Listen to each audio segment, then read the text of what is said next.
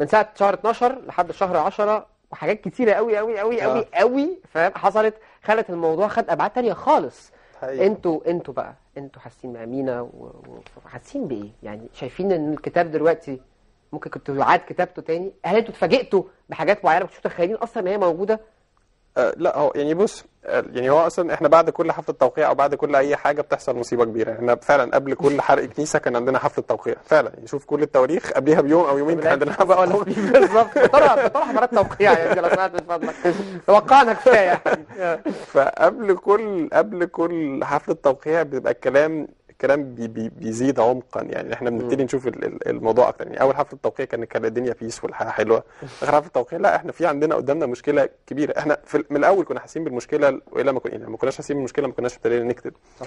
بس هو هل لو كان إحنا لو كتبناه دلوقتي هل الموضوع هيختلف؟ هو هيزداد عمقا بس لكن الهدف هيفضل زي ما هو والطريقة هتفضل زي ما هي كالقالب هيفضل زي ما هو. بس الموضوع كان هيزداد عمقا بس إحنا شفنا حاجات بشكل أعمق فهمنا حاجات أكتر شفنا الناس يعني فهمنا معظم الناس بتفكر إزاي و- والى آخره. طب أنا بقى هسألكم السؤال اللي الناس كلها بتسأله وبيبقى الرد بيبقى تقريبا محدد قوي في حتة آه ما هو لما نعمل قانون دور العبادة وآه لما يسن القوانين والقوانين والقوانين. لكن عايز أعرف المجتمع أنتوا اتكلمتوا في مشاكل المجتمع هل شايفين حل؟ هل ده ممكن يتغير؟ آه، القوانين شيء أساسي. يعني دولة العدل هي حل ال- الجزء كبير قوي.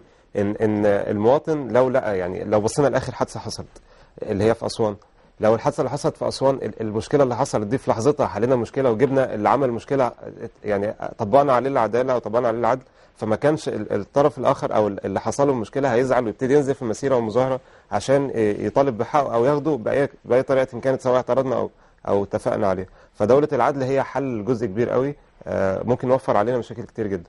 لكن المجتمع برضو عندنا حصل له تشوهات كبيرة من ال- الفترة اللي فاتت. إحنا ده تعرضنا له في الكتاب كتير. ما حاولناش في الكتاب إن إحنا نقول في مشكلة بين المسيحيين والمسلمين أو أو المسيحيين والمسلمين كويسين مع بعض لأ. يعني حاولنا نعرض آه، المجتمع بتاعنا بشكله يعني على القهوة في المدرسة في البيت في, في كل ال- في كل مكان في, في السياسة في مجلس الشعب يعني في كل حاجة الأوضاع الاقتصادية اللي عندنا. آه، إحنا شايفين إن كل الأوضاع اللي كانت غلط اللي كانت موجودة قبل الثورة وما زالت طبعا توابعها موجودة لغاية دلوقتي هي ال- اللي تسببت في ده. يعني بقينا نشوف أي مخرج آه، نخرج فيه آه، الطاقة اللي عندنا آه، وخاص كانت غالبا بتكون طاقة سلبية. آه، بقينا بنشوف أي انتماءات تانية غير الانتماء للدولة اللي هي حسينا إن هي ما بتديناش حقنا آه، حسينا إن هي مش مش بتاعتنا. فده كانت مشكلة حاولنا نرصدها كتير في الكتاب آه، وده اللي شايفينه برضو مستمر شوية بعد الثورة. بس يعني إحنا طبعا إحنا يعني المشاكل برضو موجودة دلوقتي في في ال- القرارات السياسية وفي في الأوضاع برضو موجودة. هي بتسبب مشكلة كبيرة لكن إحنا شايفين ان في أمل يعني لقدام. لأن كل ده انفجار. يعني انفجار بقى مع مع فتح باب الحريات شوية شوية لكن لسه برضو في شوية مشاكل. آه يعني ال- الناس بتحاول تعبر عن رأيها بتحاول تطلع برضو الطاقة اللي جواها. آه على الأقل دلوقتي بيمشي في شكل مظاهرات واحتجاجات وكده وده شيء صحي. في تنفيذ. أيوه بس نرجع تاني كل دوت لفكرة إن في مواقف معينة أو قوانين معينة أو حاجات معينة إحنا كمسلمين ومسيحيين إحنا الاثنين شايفين إن ده لازم يتحل وملهاش حل تاني غير كده. آه. بس أنا بتكلم على ال ال زي ما بيقولوا إيه السرطان اللي استشرى في المجتمع اللي أنتوا اتكلمتوا عنه في الجامعة في المدرسة في الشغل الذهب قشرة زي ما إحنا قلنا اللي هو واحد بس بيحط القناع ديني والكلام ده كله. المشاكل دي هتتحل ولا إيه؟ بص آه يعني إحنا عندك استراتيجية على المدى البعيد وتكتيك على المدى القريب. ال- ال- الحل الحاجات دي في المدى القريب هو إن يبقى عندك قانون موحد مش قانون موحد عندك قانون عندك حاجة ما ينفعش تكسرها.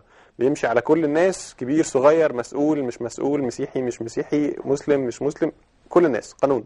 ده تكتيك يمشي لفترة قصيرة ده اللي يحل المشاكل في فترة قصيرة. إن إحنا نضمن إن ما يحصلش أذى لحد.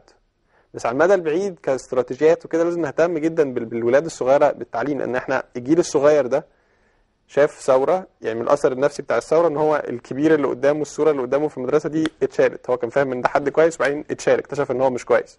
فهو كطفل الأثر النفسي بتاع الكبير ده رؤيته للكبير دي باظت. شايف إن هو الصغير الولد الصغير ده بقى شايف إن في مشاكل ما بين المسيحيين والمسلمين فهو ترتب برضه في ذهنه لما يكبر هيبقى حاطط في دماغه إن في فرق ما بين المسلمين والمسيحيين. فالجيل الجديد اللي طالع ده اتكسب باظ خالص من احداث كتيرة حصلت. فكاستراتيجية لقدام إن الجيل ده ما يبص وإن الجيل ده هو اللي فعلا ياخد مصر لقدام و لازم نبتدي بقى نعلمه كويس نعرض له نماذج كويسة نماذج قيادية كويسة. حقيقية مش مش اشكال وخلاص. لازم نبتدي نوري له إن لأ في مساحة للتعايش ما بين المسيحيين والمسلمين والمساحة دي كبيرة جدا. يمكن دكتور فاضل سليمان اتكلم في الموضوع ده إن إحنا يعني لو هنشوف ال ال ال المساحات المشتركة اللي الناس كلها بتتجمع عليها إحنا عندنا 95% من المقومات اللي تخلينا نبقى عايشين في سلام وتحاب والدنيا تبقى زي الفل. لازم نبتدي نركز الناس إن هو هو مش سبق. يعني مش المسيحيين لو بقوا كتير كده مصر بقت حلوة ومسيحية ومش المسلمين بقوا. يعني هو مش سبق هو إحنا عايشين في بلد هي بلد. بتسع كل الناس مسيحيين ومسلمين ويهود وعف يعني بغض النظر مين اللي هيعيش. بس الاغلبيه العظمى عندنا مسلمين ومسيحيين. فخلينا نشتغل مع بعض. وده اللي إحنا حبينا نركز عليه قوي في الكتاب إن هو الكتاب عبارة عن واحد مسيحي وواحد مسلم. اشتغلوا مع بعض كتبوا مع بعض وفي النهاية الناتج اللي طلع ده فرح بيه مسيحي وفرح بيه المسلم. صحيح والاثنين اتبسطوا. ولما اشتغلنا مع بعض الكتاب بقى حلو لأن هو بقى صريح وبقى واضح وما بقيناش بنلف على بعض وما بقيناش بقى في بقى الأحضان والبوس اللي بيطلع في التلفزيون والحاجات دي ما بقاش في آه، احاديه ال- ال- الاتجاه يعني بالظبط. مش مكتوب. بوجهة نظر معينة على بس حساب بس ما زال وسيظل ناس خلاص هي باظت هو شايف إن اللي قدامه ده ما ينفعش يعيش معاه واللي قدامه ده بيكرهني في المسيحيين والمسلمين شايفين إن الطرف الثاني مش كويس والطرف الثاني عايز يأذيني وخلاص الناس دي هي بالنسبة لي مش باظت خالص بس بنسبة كبيرة ح- يعني التعامل معاهم هيبقى محتاج وقت أطول في YouTube channel ليكو آه، وبتعملوا آه، فيها إيه؟ في حاجة جديدة أنا ومينا شغالين فيها مع بعض اسمها آه، اللمبه الصفراء.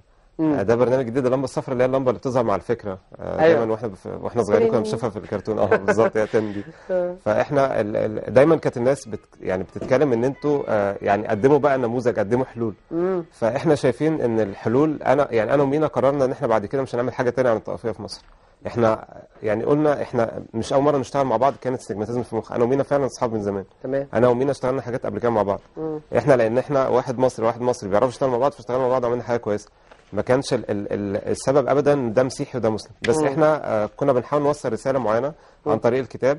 آه ونتمنى إن هي تكون وصلت ونحاول بقى نأكدها بعد كده بالشغل مع بعض. يعني هو برنامج أنت قلت برنامج لمبة الصفراء برنامج برنامج اللمبه الصفراء هو برنامج بيقدم آه، مبادرات آه، للتنمية وحاجات يعني هو هو بيتكلم عن فكرة الفرصة. إحنا شفنا الثورة في حد ذاتها إن هي فرصة. الناس اتعاملت معاها ومشت وراها ودعمتها لغاية ما حققنا هدفها المرحلي اللي هو اللي فات. لكن ما زال بعد الثورة في أوضاع سيئة جدا وكلها كانت متوقعة. اللي هيعدينا للبر الثاني اللي هيعدينا للبر الأمان هو الفرص اللي موجوده قدامنا. بس الفرص دي لو لو سبناها فمش هنلاقيها تاني بعد كده فلازم كلنا نتجمع عليها ونمسك فيها ولازم نهتم بيها ونعرضها للناس. فده اللي إحنا بنحاول نعرضه إن إحنا كل مرة بنناقش موضوع معين بنجيب آه، مبادرة للتنمية بنجيب حاجة لمستقبل مصر سواء كانت في السياسة في الاقتصاد في المجتمع وبنحاول نعرضها للناس آه، بدأ البرنامج ده؟ بدا بدا نزل اللي عايز يشوف يعمل إيه؟ يكتب على اليوتيوب آه، اللمبة الصفراء بس كده. بس كده. كده. عندكم channel و subscribe و آه. طيب آه أنا بشكركم وبحييكم على الكتاب دوت بجد. آه وبحييكم عليه من من ساعة ما طلع وبحييكم على دلوقتي كمان. وبحييكم كمان على فكرة حاجة لطيفة جدا انت قلت أنا مش هتكلم تاني عن الفتنة الطائفيه لأن فكرة إن حد يعمل حاجة فيفضل بقى عايش فيها بقى ويفضل يقعد يعيد ويزيد فيها وكده ويستغل إن هو نجح فيها فأنتوا تكسروا كمان دوت. فأعتقد إنتوا مثال جيد جدا. إنتوا هتكملوا فكرة ال- الكتابة يعني إنتوا الكتابه بالنسبة لكم كانت مجرد تنفيذ ولا إنتوا أدباء بقى وهتكمل بقى وكتاب وكده؟ يعني إحنا هنكمل نكتب بس مش أدباء بقى والحاجات الكبيرة دي. إن شاء الله في في يعني كذا فكرة مطروحة قدامنا فإحنا بنفاضل ما بينها بس. وبرضه مع بعض ولا كل واحد لوحده بقى. إن شاء الله. مش هتتخانقوا؟ لا دايما كده في حاجة كده يقول لك أصل ده اتخانق وده أصله زعل منه وأصل ده كان عايز ياخد الفكرة لوحده. إيه ده؟ نقدم النموذج للآخر إن شاء الله. يا رب إن شاء الله بإذن الله. آه، مصطفى الصياد ومينا شنودة مؤلفي كتاب استجماتيزم في المخ. أنا سعيد إن أنتوا كنتوا معانا النهارده. ومشاهدينا هنروح لفاصل هنروح لتقرير ونرجع تاني نكمل بقية فقرات نهارك. سعيد خليكم معانا.